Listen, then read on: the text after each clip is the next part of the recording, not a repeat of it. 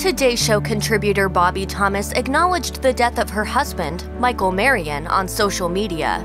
Marion died on December 1, 2020, at age 42 after suffering from an ischemic stroke back in April 2019, per Entertainment Tonight. According to Healthline, an ischemic stroke is caused by a blockage in an artery that supplies blood to the brain.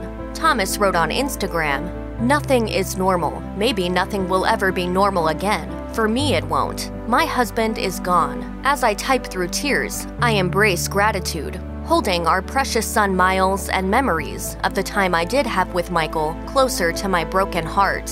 The television personality encouraged people to make the most of the time they have with loved ones now, telling people to go hug the people close to them. She added, One thing we all have is kindness. Absorb it, extend it, exhaust it. Because in the end, the only thing that matters is love.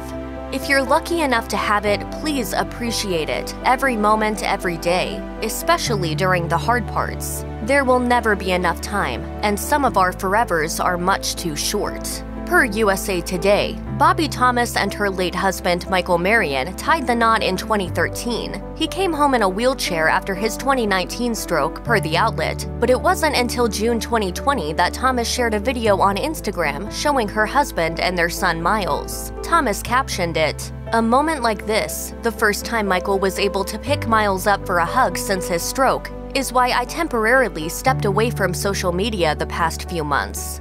She added that she was ready to celebrate a number of milestones in her life, such as her wedding anniversary, number 7, Father's Day, Miles' last day of pre K, the first day of summer, and of course, Michael's continued recovery. In May 2020, Thomas wrote about her husband's recovery for National Stroke Awareness Month for today. She shared, I love my husband. We've been fortunate to celebrate many happy times since we met, but I've never felt more in love or more connected to him than in the pain and dark. In relationships, everything isn't always a picture perfect wedding day. We make all these plans for the future, but life can change in an instant, and it's who you have next to you in these moments that makes all the difference.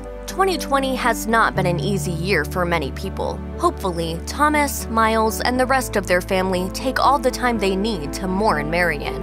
On social media, Bobbie Thomas's colleagues and friends expressed their support and love for the Today contributor after her husband's death at age 42.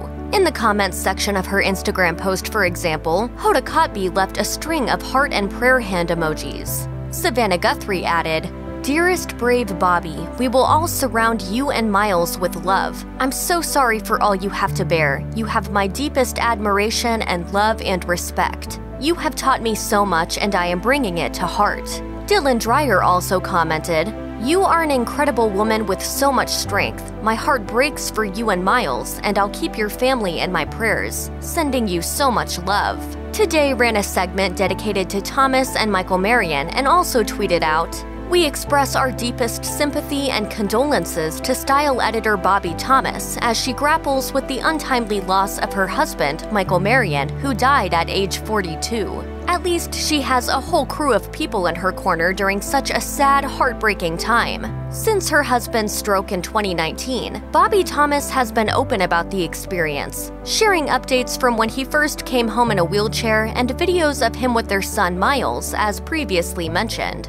According to his obituary, Michael Marion went to the University of Michigan for his bachelor's degree, and then to George Washington School of Law where he got his JD, and later NYU School of Law where he earned his LLM. He was a partner at the Tax Transactions Group at Mayer Brown LLP. His obit reads, Beloved by many friends, colleagues, and extended family, he had a smile that lit up every room he entered. The family added, Our hearts are broken. With great sadness, we mourn the loss of our beloved Michael, who passed away on December 1, 2020, at age 42 after a heroic struggle. Marion is survived by Thomas, their son, his mother and father, Vivian and Lester Marion, his sister Sarah, and his nephews Benjamin, Ari, and Sam.